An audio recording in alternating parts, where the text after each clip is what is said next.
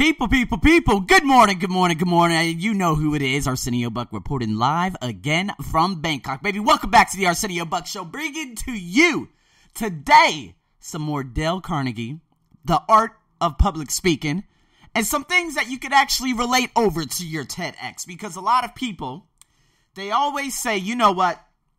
You're going to have to show visuals to keep an audience awake. You're going to have to do a lot of things in terms of keeping the audience awake. But you know what? If you actually just speak with conviction and with eloquence, eloquence is basically thought on fire. If you can do this during your speech, people can see that, they could sense that, they could feel that.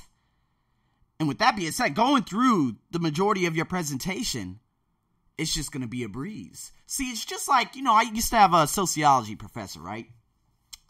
And he could stand up in front of the classroom and talk for two hours, and people would go to sleep. I remember I watched some TEDx's. Now, again, no, no disrespect to those people from, you know, from Britain and from England and all that, but some of them speak in monotone. A lot of them speak in monotone. Uh, the majority of them speak in monotone. And when you speak in monotone, my attention deviates from everything. There was one guy that spoke in monotone, and he didn't, he wasn't even properly dressed. He had a weird, awkward stance. I don't care if you're you're you're telling jokes. I don't care if you're doing this or that. I'm turned off. There's a lot of things that will grasp the attention of the audience, and there's a lot of things. Uh, there's probably more things that you know what the audience could just say. You know what? I'm finished. And so, if you look at Les Brown, Les Brown, if you actually look up Les Brown on YouTube and look at the ways he used to actually give presentations and stuff compared to, to uh, you know, compared to today, it's much different. He used to speak, well, obviously he's a little bit older now, you know, compared to what he was 25 years ago. But when he used to spoke, speak in the early 90s, it was amazing because he spoke with so much passion, conviction, conviction. I could literally go through 45 minutes of watching this man compared to, you know, him speaking now because he doesn't have that sort of fiery passion within him anymore. You know what I mean? And obviously this comes with old age and stuff like that. Another person, but well, I can't say it comes with old age because if you look at Bob Proctor, he's a couple years over the age of 80. And what he says, he also says with a lot of passion. And so I love it. But then again, if we actually, you know, put our attention towards Jack Canfield and him giving his seminars, that's another person that I cannot watch fully because he kind of speaks in monotone. So, again, I like it because what Dale Carnegie said, he talked he talked about a man named Sherman Rogers, right? And the thing is, he had to speak with uh, Sherman Rogers a long time ago, right? I'm not even going to tell you who Sherman Rogers is right now. But you know what? Uh, what is it? Dale Carnegie said, you know what? If I had a good excuse, I would have left immediately before he even got on stage because he was built as a lumberjack orator. Okay? Uh, so a person of bore, I guess you could say. And you know what's crazy? All these preconceptions that he actually had of Mr. Sherman, they weren't true. You know what? It's crazy. Mr. Rogers ended up making one of the best talks he has ever heard. And who is Sherman Rogers? Well, you know what? He's just a lumberjack. He worked it most of his life in the big woods of the West. He knows nothing and can care less about everything else in the rules in you know in terms of the rules of public speaking. And his talk did not have polish. It did, but it had a punch. It lacked finesse, but it had fire. He made grammatical errors and did a half a dozen things wrong, but it is not faults that kill a talk. It is a lack of virtue. See, his speech was a huge raw piece of palpitating experience. This is what Dale Carnegie said in his book. And it's crazy because he, he tore it right out of his life as a, ra- a laborer and a boss of laborers. Okay? So, depending on what he's talking about, he could talk about, you know, how underpaid some laborers are. Depending on what he was talking about that at that specific moment, he was talking with such a fiery passion. It it, it's crazy. It crouched and it sprang up to you. Everything he said leaped flaming hot from his heart. And it's crazy because it had a wonderful effect on the audience. There was William Jennings Bryan. Remember, I told you, eloquence is thought on fire. And you know what? Over 2,000 years ago, there was a Latin poet, right? He actually expressed his thought when he said, If you would draw tears from others' eyes, yourself the signs of grief must show. You got to hear it from you. See, this is when I heard Lisa Nichols on the Steve Harvey show. I immediately, and the audience immediately, began to weep because of her story. And why? You know what? They need to see that grief within you, and you need to express it outward. And when you do this, depending on what you're talking about. If you're not trying to give an emotional speech or whatnot, there are a lot of different ways and techniques to deliver speeches. Yes. But at the same time, Lisa Nichols, Ray Lewis, especially Ray Lewis, when they talk about their lives, I'm glued in.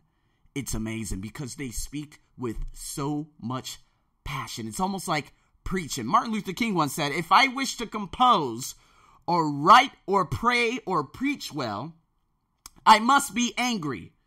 Then all the blood in my veins is stirred, and my understanding is sharpened. Even a horse is affected by a spirited talk, okay? A famous animal trainer once said that he had known an angry word to raise the pulse of a horse 10 beats per minute. Of course, surely an audience is as sensitive as a horse, right? This is the most important fact to remember, people. Every time we speak, we determine the attitude of those who hear us. All right? So we hold them in our hands. And if we're lackadaisical, they will be lackadaisical. If we are reserved, they will be reserved. If we are only mildly concerned, they will only be mildly concerned. Do you understand where I'm going with this? But if we are deadly in earnest about what we say, and if we say it with feeling and spontaneity and force and that contagious conviction, they cannot keep from catching our spirit to a degree. Because audiences, people, human beings, they're moved by emotion.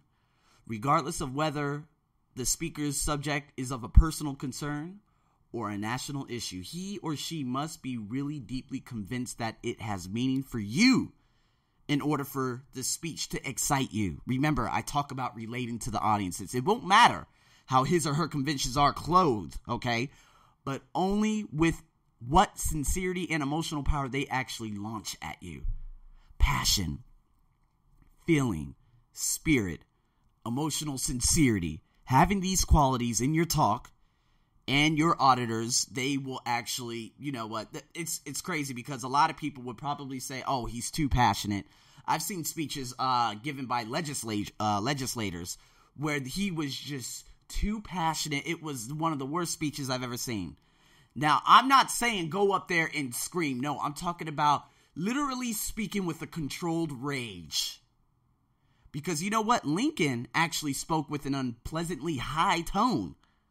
Some of the most prominent and successful speakers had weak voices. They stammered, they stuttered, or even swallowed their words. Yet they had an earnestness about them that triumphed all over the defects. It blasted all those handicaps. So, what I'm trying to say today, in terms of your speaking, if you just go up there and you just talk, people aren't going to be glued in. I've seen this in a lot of TEDx talks. One of them being Praya. She's a famous Thai actress. She gave she gave one at one of the international schools in Bangkok.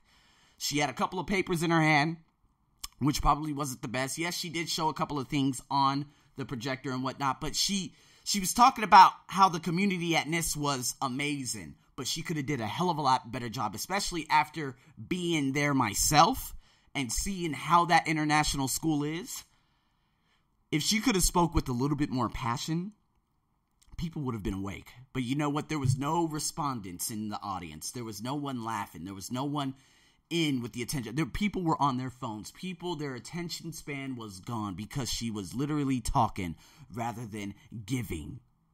And when you start giving and when you start speaking with that sort of conviction, that you're saying, hey, listen, I'm very passionate about what I have to say today. So I'm going to get this point across, and you guys are going to feel this energy coming out of me.